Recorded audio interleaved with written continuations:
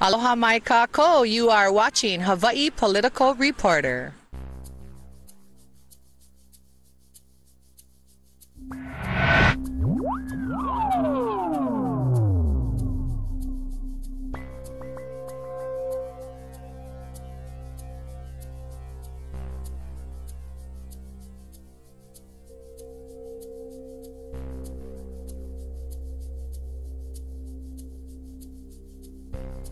Quest for power is the driving force of history. Always has been, always will be. Those who fail to recognize this principle are not spared in the grand chess game, but rather are moved and manipulated by forces they do not understand. From the perspective of those who dominate the board, it is obviously preferable to have a population of ignorant pawns than it is to have an array of opponents which are capable of mounting an effective resistance. To that end, it has always been in the interest of the ruling class to cultivate illusions which obscure the true nature of the game. Manufacturing consent. What is that title meant to describe? Well, the title is actually borrowed from uh, a book by Walter Lippmann, written back uh, around 1921, in which he described what he called the manufacture of consent as a revolution in the practice of democracy. What it amounts to is a technique of control. Uh, and he said this was useful and necessary because uh, the common interests, the general concerns of all people, elude the public. Walter Lippmann wasn't speaking theoretically, nor was he commenting on a phenomenon that he had observed from a distance. He was part of that specialized class, and he personally influenced the development of this new technique control. So, what was this new technique that Lippmann was referring to? The answer to that question takes us back to the beginning of World War I.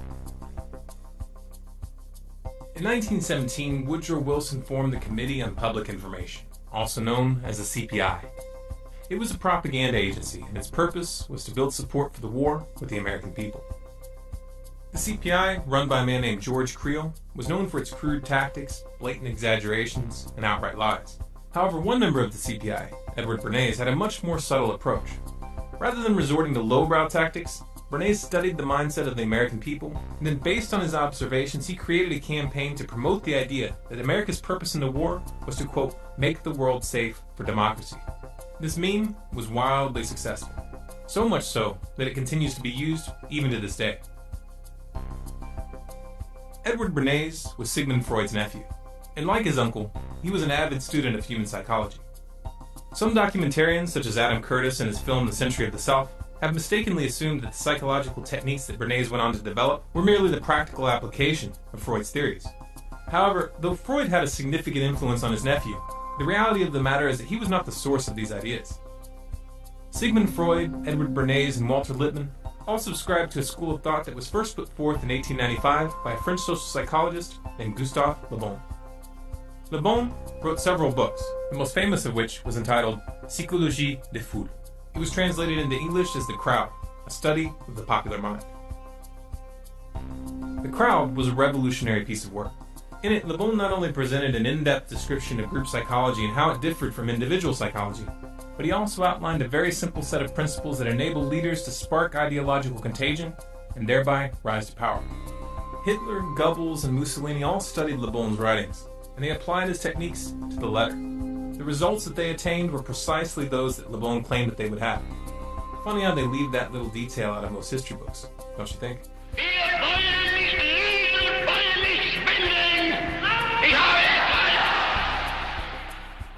Sigmund Freud's book Group Psychology and the Analysis of the Ego was in fact a direct critique of the writings of Gustave Le Bon and William McDougall, which focused on the relationship between individual psychology and group psychology, and explained how human groups can be controlled for long periods of time through the manipulation of group identity, belief systems, and social structures.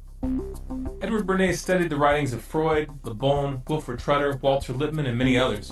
He then combined their perspectives and synthesized them into an applied science.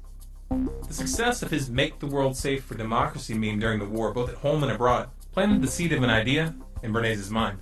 Could group psychology tactics be applied during peacetime?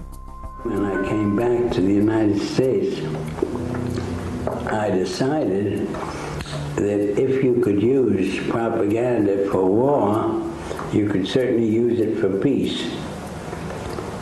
And propaganda got to be a bad word because of the Germans. using it. So what I did was to try to find some other words. So we found the word Council on Public Relations. In 1919, Bernays opened the world's first public relations office. He named his agency the Council on Public Relations. It occurred to me that any young debutante who was aware of the times and of herself as a woman being discriminated against would be delighted to walk in the Easter parade with her bow uh, to dramatize the idea that cigarettes were indeed torches of freedom to and to validate uh, and to invalidate the taboo against women smoking. So I called up a debutante friend of mine, asked her to get another friend and two young men whom they liked. And they, I also instructed them on how to give information about what they did to the newsreels, weekly newsreels, to the newspapers, to the three important press associations, the AP, the United Press, and International News Service, and to walk from 34th Street to 57th and back, it, and back and forth, lighting torches of freedom to protest man's inhumanity to women by a taboo against smoking. Next morning, there wasn't a newspaper in the United States, even the New York Times had a front page story, Debutantes light torches of freedom to protest man's inhumanity uh, to women by a taboo against smoking, lighting cigarettes in their walk. The interesting thing to me was that within three days, the newspapers, without any intercession on my part, published accounts that women were smoking in Union Square in San Francisco, in Union Square in Denver, and on the Boston Commons. This was Bernays' specialty, engineering social trends for clients, and he was very, very good at it. Perception was now a commodity, for sale of the highest bidder. Bernays aided the CIA and United Fruit Company, known today as Chiquita Brands International, in a successful campaign to topple the democratically elected Guatemalan government in 1954. He headed up the public relations campaign to garner support for the fluoridation of municipal water supplies on behalf of the aluminum mining company, Alcoa Incorporated, who was looking for a cheap way to dispose of their industrial waste. And he even helped the company convince the American public to eat heavier breakfasts so that they would buy more bacon. What made Bernays so successful was his skill in applying three psychological tactics. One, creating carefully calculated associations with the subconscious fears and desires of individuals. Two, influencing opinion leaders and perceived authority figures in order to reach those who follow them. Three, initiating the contagion of behaviors and ideas through social conformity. Bernays wrote several books promoting these psychological tactics, including Propaganda and Crystallizing Public Opinion. In these books, he specifically encouraged governments and corporations to use his methodology to manipulate public perception. This suggestion did not fall on deaf ears. His techniques worked so well that they were adopted by virtually every sector that sought to influence the public media, politics, advertising, even the military. As Walter Lippmann had indicated, it was a revolution. Joseph Goebbels, Hitler's propaganda minister, found Bernays' approach very useful. Bernays acknowledged this fact in his 1965 autobiography entitled Biography of an Idea, where he wrote Carl von Wiegand, foreign correspondent of the Hearst newspapers, an old hand at interpreting Europe and just returned from Germany, was telling us about Goebbels and his propaganda plans to consolidate Nazi power. Goebbels had shown Wiegand his propaganda library, the best Wiegand had ever seen. Goebbels, said Wiegand, was using my book Crystallizing Public Opinion as a basis for his destructive campaign against the Jews of Germany. Obviously, the attack on the Jews of Germany was no emotional outburst of the Nazis, but a deliberate, planned campaign.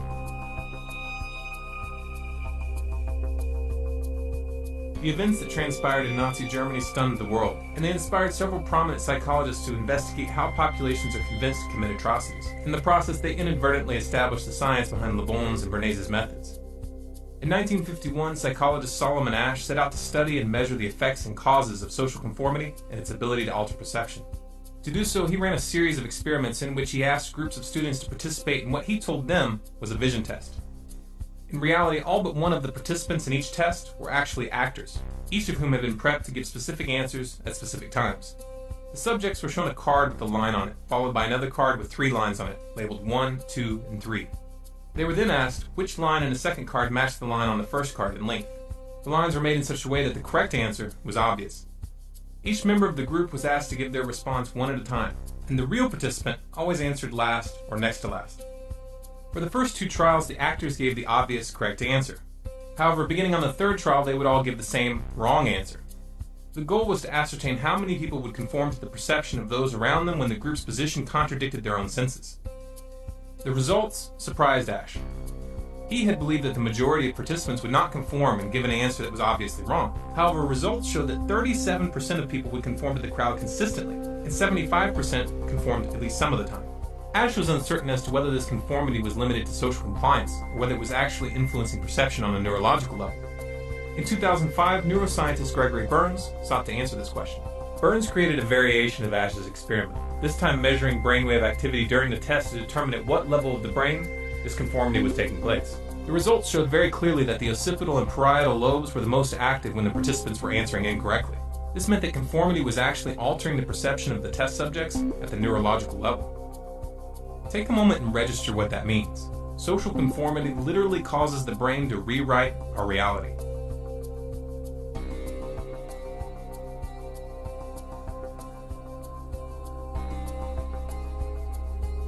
In 1961, Yale University psychologist Stanley Milgram conducted a series of experiments which measured the willingness of individuals to obey authority figures. In the experiment, test subjects were placed in a scenario where they were led to believe that when they flipped a switch, an electrical shock was being delivered to a person in the adjacent room. They were then ordered by a man in a white jacket claiming to be the official scientist in charge to ask the person in the next room a series of questions. If they received an incorrect response, they were to punish them by flipping the switch, thereby administering a shock. For example, in the first line it reads blue, boy, girl, grass, hat. Now after you've read the four choices, the learner pushes one of the switches on the board in front of him, and the number he has selected will light up in this box, one, two, three, or four.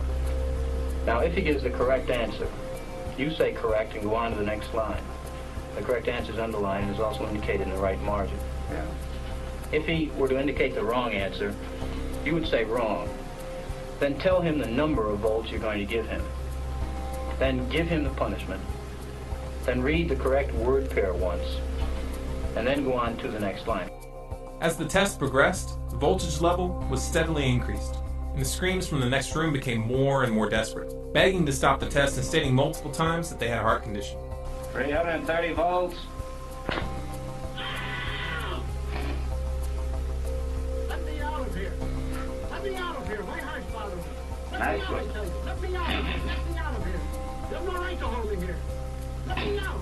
Let me out. Let me out. Excellent. Fast. Let me out. Let me out. Many of the subjects expressed hesitation about continuing with the experiment upon hearing the person in the other room scream and beg for help. Those that did were informed by the scientists that they had no choice but to continue.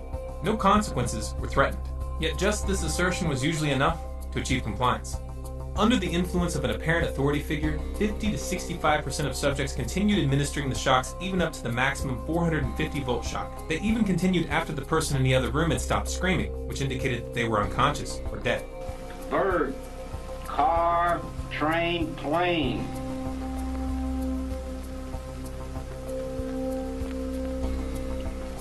Go on, please. with the procedure. Please answer.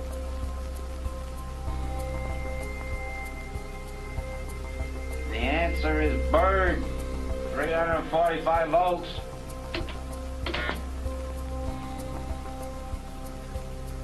Blunt, knife, stick, word, arrow.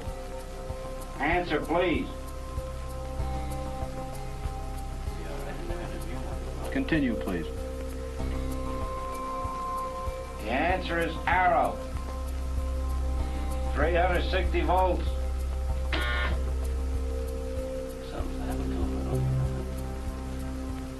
Go on, please, with the experiment. Please continue.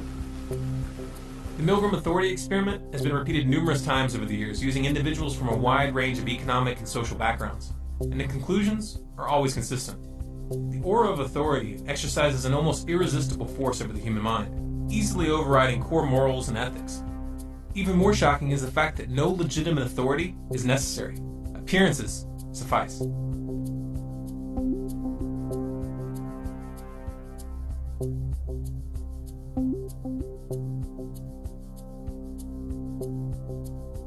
The invisible government that Walter Lippmann, Edward Bernays, and Woodrow Wilson had referred to was not just an abstract concept.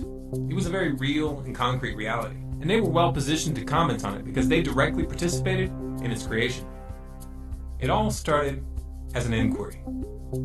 The inquiry, to the select few who knew, was a group of 150 men assembled by Woodrow Wilson to gather the data that they thought necessary to, quote, make the world safe for democracy after World War I was over. Among the known members of the inquiry were Walter Lippmann, Paul Warburg, better known as the father of the Federal Reserve, and Edward House, Wilson's closest advisor, the man responsible for convincing Wilson to sign the Federal Reserve Act in 1913. From 1917 to 1918, the group compiled over 2,000 documents to be used during post war negotiations. The most famous of these was the 14 Points document, authored by Walter Lippmann, which proposed the creation of the League of Nations, the predecessor of the United Nations. Then, to my surprise, they asked me to go over with, with Woodrow Wilson to the peace conference. And at the age of 1926, I was in Paris for the entire time of the peace conference that was held in the suburb of Paris, and we worked to make the world safe for democracy. That was a big slogan. After the Paris Peace Conference in 1919, a portion of the inquiry met at the Hotel Majestic with a number of British diplomats to discuss the forming of a permanent institution. This meeting eventually led to the decision to join forces with a group of high ranking officers of banking, manufacturing, trading, and finance companies led by Elihu Root, a powerful corporate lawyer who was also a former United States Secretary of War and leading advocate of America's entry into World War I. On July 29, 1921, the merged group filed a certification of incorporation, officially forming the Council on Foreign Relations, also known as the CFR. The CFR went on to build a membership comprised of the world's most powerful business leaders, politicians, and corporations.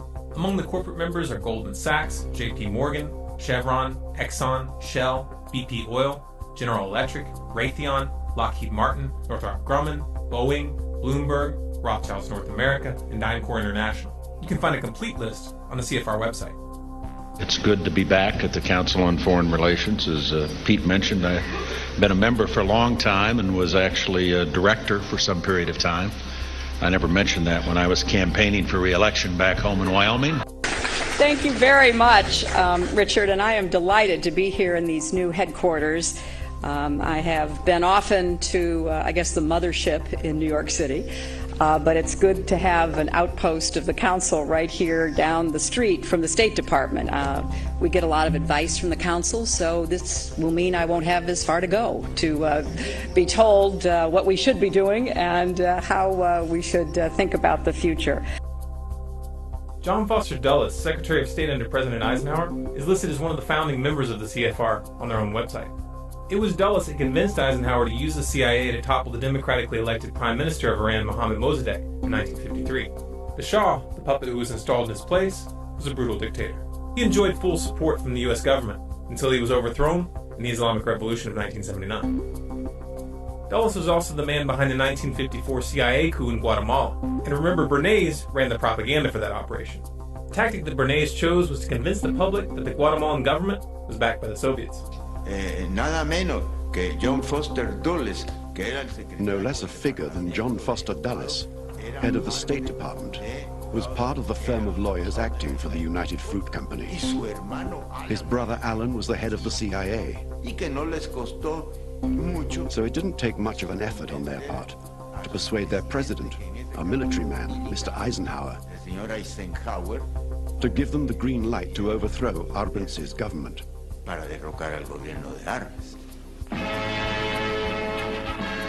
U.S. Secretary of State Dulles takes the rostrum to urge united action by the Americas to outlaw international communist intervention in the Western Hemisphere. Bernays' tactic worked, even though the Soviet Union didn't even have diplomatic relations with Guatemala at the time. Я абсолютно убежден в том, что правительство Арбенса the Arbenz government, which had been in power from 1950, didn't enjoy any logistical support from the Soviet Union. We didn't even have diplomatic relations. There was no Soviet mission in Guatemala. Once again, Bernays set a trend. And for the next 40 years, the U.S. government would use the specter of communism to justify invasions and covert operations around the globe. Another member of the CFR, McGeorge Bundy, was National Security Advisor under Kennedy and Lyndon B. Johnson. He was also the man responsible for encouraging the escalation of the Vietnam War, a prospect that Kennedy opposed and would not have allowed had he lived. This according to documents written by Bundy himself. President Nixon's National Security Advisor Henry Kissinger is also a member of the council. Kissinger was the man behind the CIA coup which overthrew the democratically elected president of Chile, Salvador Allende. The puppet they installed in Allende's place, Augusto Pinochet, was another brutal dictator who tortured and killed thousands of his own citizens. The U.S. government politely looked the other way. Carter's national security advisor, Zbigniew Brzezinski, is also a member of the council.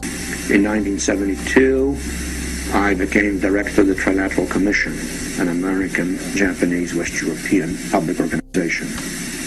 In 1976, I directed the foreign policy task forces for Jimmy Carter. Then I became the National Security Advisor for four years.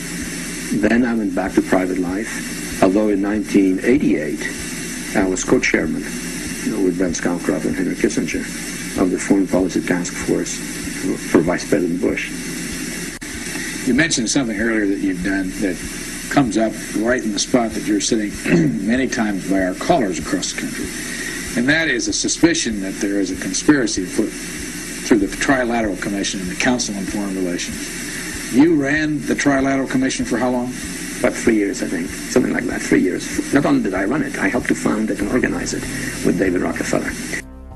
It was Zbigniew Brzezinski who was behind the funding and arming of the Mujahideen in Pakistan and Afghanistan, a tactic designed to incite the Soviets to invade.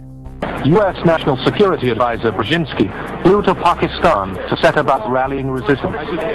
He wanted to arm the Mujahideen without revealing America's role. On the Afghan border near the Khyber Pass, he urged the soldiers of God to redouble their efforts. We know of their deep belief in God, and we are confident that their struggle will succeed. You know, that land over there is yours. You'll go back to it one day because your fight will prevail and you'll have your homes, your mosques back again because your cause is right and God is on your side.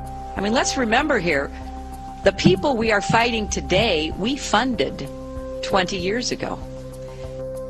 Ronald Reagan's national security advisors Richard D. Allen and Robert C. McFarlane are also members of the council, as was his Secretary of State, George Shultz. George Shultz was behind the attempted overthrow of the Sandinista government in Nicaragua. This was part of the Iran-Contra scandal. The Contras, which Reagan and Shultz were arming and training through the CIA, killed, tortured, raped, mutilated, and abducted hundreds of civilians that they suspected of sympathizing with the Sandinistas.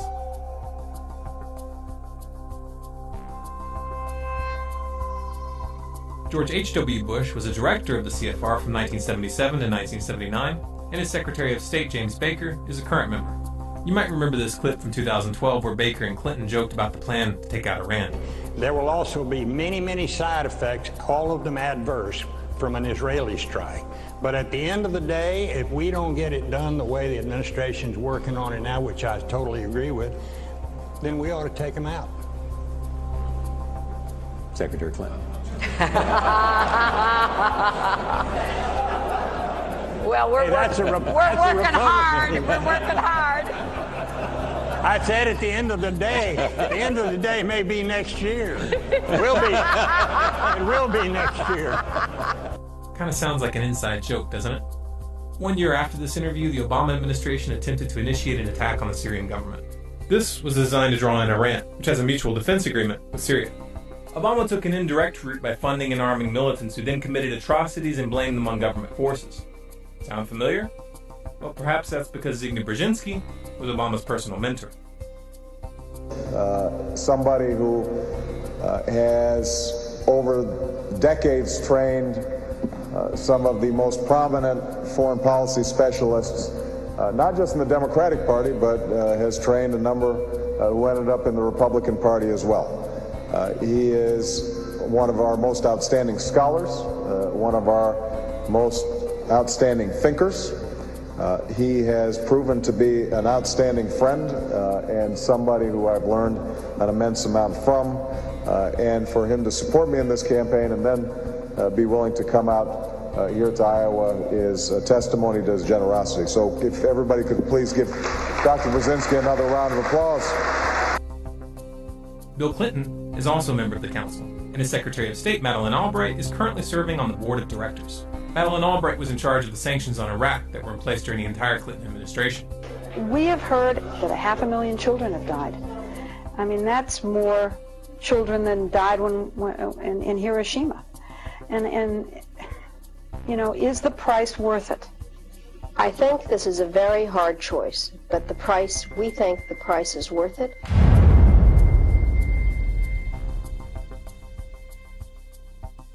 Colin Powell, who led the charge to war with Iraq by presenting false evidence to the UN in 2003, is also currently on the CFR board of directors. Indeed, the facts and Iraq's behavior show that Saddam Hussein and his regime are concealing their efforts to produce more weapons of mass destruction. My colleagues, every statement I make today is backed up by sources, solid sources. These are not assertions. What we're giving you are facts and conclusions based on solid intelligence. Those weapons of mass destruction got to be somewhere.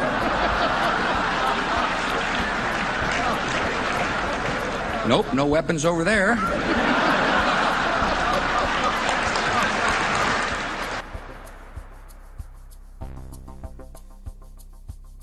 George W. Bush's National Security Advisor Stephen Hadley, his Secretary of State Condoleezza Rice, and his Treasury Secretary Henry Paulson are all current members of the CFR. Henry Paulson, former CEO of Goldman Sachs, was the man behind the banker bailouts in 2008. Goldman Sachs, which just happens to be a corporate member of the CFR, was one of the primary beneficiaries of that bailout. Another CFR member, Robert Gates, was Secretary of Defense under both Bush and Obama.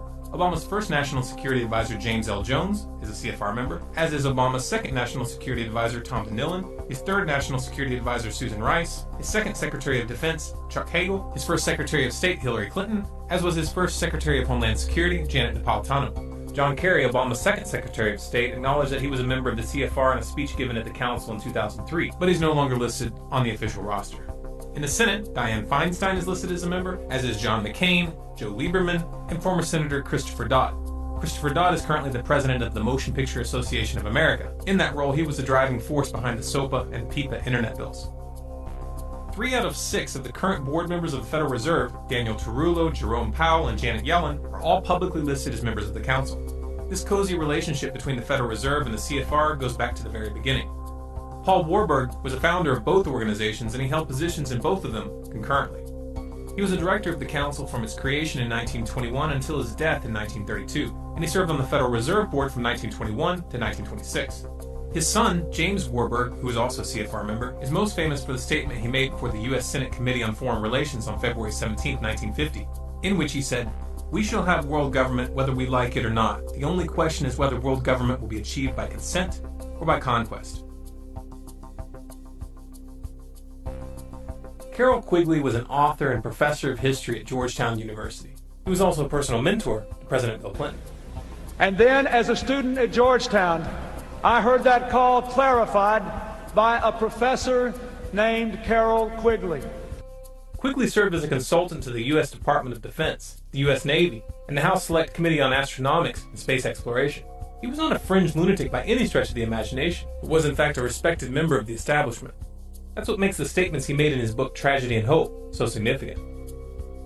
Tragedy and Hope was a dense and highly detailed historical volume which covered world history from 1914, with an emphasis on analyzing the driving forces of civilization. The book was completely uncontroversial, that is, until you get to the middle, where he makes the following statement. There does exist and has existed for a generation an international Anglophile network which operates to some extent in the way that the radical right believes with the Communist Act. There's no more federal than Federal Express. Future a hide and destroy a freedom man. You seek agenda, we know you know you anti-American. You come forward American Constitution. 1913, corrupt in the system. Devalue dollar, hyperinflation. The Federal Reserve, controlled by Farm. he can see you lying